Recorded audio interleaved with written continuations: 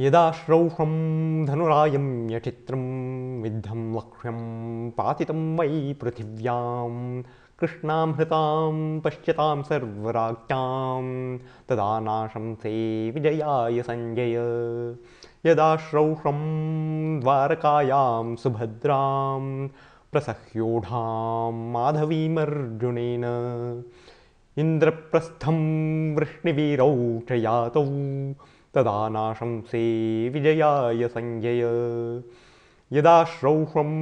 देवराजं प्रवृष्टं शरैर्दिव्यैर्वारितं चार्जुनेन अग्निं तथा तर्पितं खाण्डवे च तदा नाशंसे विजयाय सञ्जय